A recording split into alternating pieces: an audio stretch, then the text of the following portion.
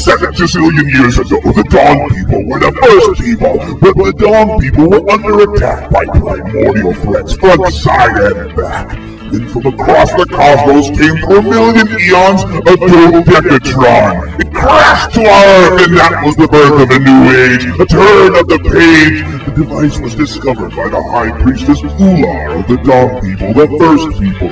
She laid her hand on the Dodecatron, and a brand new power began to flower. He lived to save humanity till he was lost in a mega catastrophe.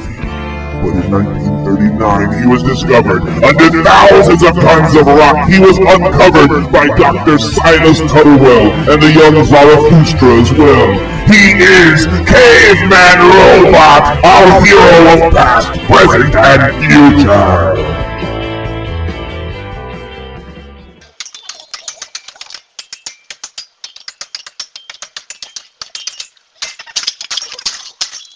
Rainbow Nation